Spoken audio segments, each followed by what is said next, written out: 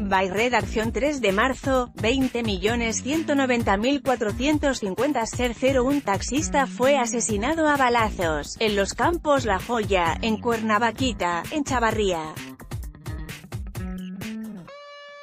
En el municipio de Coatlán del Río. Se trata de Javier Arriaga Calixto de 32 años de edad, vecino de Cocoyotla. La víctima estaba maniatado, torturado y con impactos de bala.